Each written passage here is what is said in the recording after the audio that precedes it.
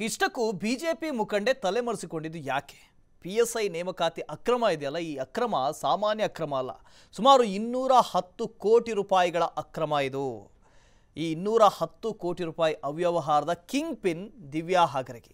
Divya Hagaragi BJP ಮುಖಂಡೆ ಮತ್ತು ಗೃಹ ಸಚಿವರ ಆಪ್ತೆ. ಅರಗ ಜ್ಞಾನೇಂದ್ರ ಅವರು ಈ ಹಿಂದೆಯೂ ಕೂಡ ಅವರ ಮನೆಗೆ ಹೋಗಿ ಬಂದಿದ್ದರು ಸಾಕಷ್ಟು ಆಪ್ತೆಯೂ ಕೂಡ ಆಗಿದ್ದರು ಇಲಾಖೆಯಲ್ಲೇ ಮಾಡಬಾರ್ದಂಥ ಅವ್ಯವಹಾರವನ್ನು ಮಾಡಿ ಪೊಲೀಸರ ಕಣ್ತಪ್ಪಿಸಿ ಜೂಟಾಗಿದ್ದಾರೆ ಈಗ. ಪಿ ಎಸ್ ಐ ಅಕ್ರಮ ಬಯಲಾಗಿದ್ದು ಹಾಗಾದರೆ ಹೇಗೆ? ಕರ್ನಾಟಕದ ಐನೂರ ನಲವತ್ತ ಐದು ಪೊಲೀಸ್ ಸಬ್ ಇನ್ಸ್ಪೆಕ್ಟರ್ಗಳ ನೇಮಕಾತಿ, ಆ ಪೈಕಿ ಮುನ್ನೂರು ಅಭ್ಯರ್ಥಿಗಳು ಲಂಚ ಕೊಟ್ಟು ಆಯ್ಕೆಯಾಗಿದ್ದಾರೆ.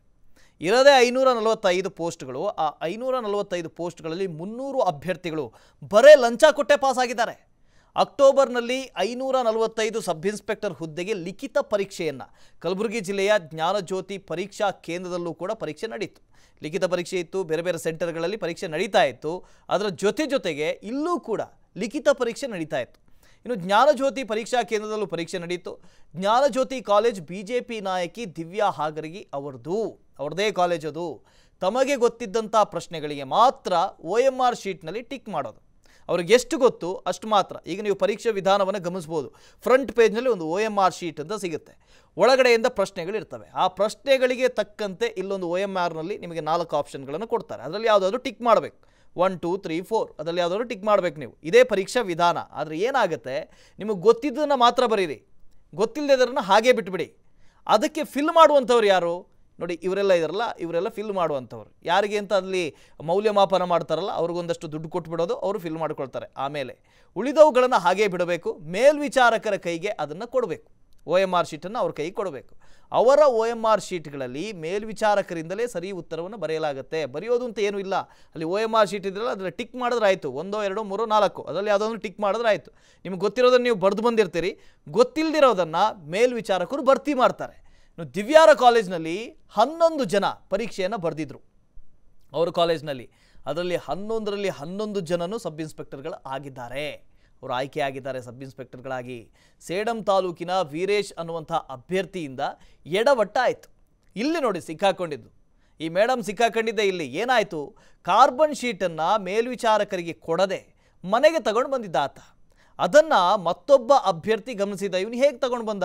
ಅಲ್ಲಿ ಕೊಟ್ಟು ಬರಬೇಕಾಗಿತ್ತಲ್ಲ, ಹೇಗೆ ತಗೊಂಡು ಬಂದ? ಅಂಥೇಳಿ ಅದನ್ನು ಫೋಟೋ ತೆಗೆದಿಟ್ಟಿದ್ದ. ಕಾರ್ಬನ್ ಶೀಟ್ನ ಫೋಟೋವನ್ನು ತೆಗೆದಿಟ್ಟಿದ್ದ. ಕಾರ್ಬನ್ ಶೀಟ್ ಅಂದರೆ ಒಂದು ಈಗ ಪೂರ್ತಿ ನೀವು ಬರೆದಿರ್ತೀರಲ್ಲ ಉತ್ತರ, ಅದಕ್ಕೆ ಕಾಪಿ ರೀತಿಯಲ್ಲಿ ಇನ್ನೊಂದಿರುತ್ತೆ ಕಾರ್ಬನ್ ಶೀಟ್. ನೀವು ಹಾಕಿರೋಂಥ ಉತ್ತರಗಳೆಲ್ಲ ಅಲ್ಲಿ ಅದರಲ್ಲೂ ಇರುತ್ತೆ. ಅದರ ಒಂದು ಕಾಪಿ ನಿಮ್ಮ ಕೈಯಲ್ಲಿರುತ್ತೆ.